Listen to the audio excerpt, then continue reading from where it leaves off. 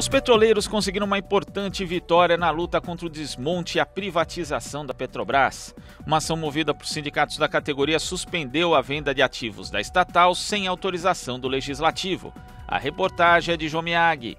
A liminar que suspendeu a privatização de empresas da Petrobras foi obtida pelos petroleiros na última sexta-feira. O argumento foi que o governo federal não pode vender empresas públicas sem licitação e sem autorização do Congresso Nacional. Auzélio Alves, diretor do Sindicato dos Petroleiros de São Paulo, afirma que os trabalhadores querem impedir a venda de quatro refinarias e da TAG, a transportadora associada de gás, que já foi privatizada sem autorização do Congresso. TAG é uma, é uma transportadora é, de gás. Ela é uma empresa que tem mais de 5 mil quilômetros de dutos e atua do Rio de Janeiro ao Nordeste também. Ela tem, na região norte, atua né, é, com essa especificidade, né? do transporte do gás natural. É importante que a gente mantenha esse controle conosco. Infelizmente, é através de medida judicial que essas vendas não estão ocorrendo.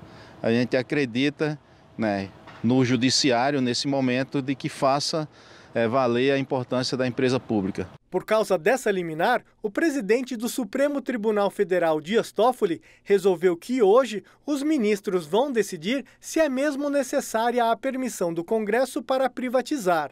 A Confederação Nacional dos Trabalhadores do Ramo Financeiro da CUT foi uma das autoras do pedido de inconstitucionalidade das vendas sem a autorização do legislativo.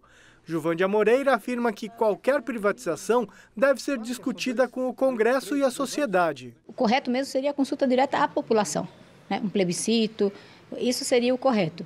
Mas nós pedimos, é, fizemos esse pedido, é, tinha outros pedidos que não foram atendidos, esse foi atendido. Uma decisão tão importante de abrir mão do patrimônio do povo brasileiro tem que passar pelo Congresso, não pode ser uma decisão só do Executivo.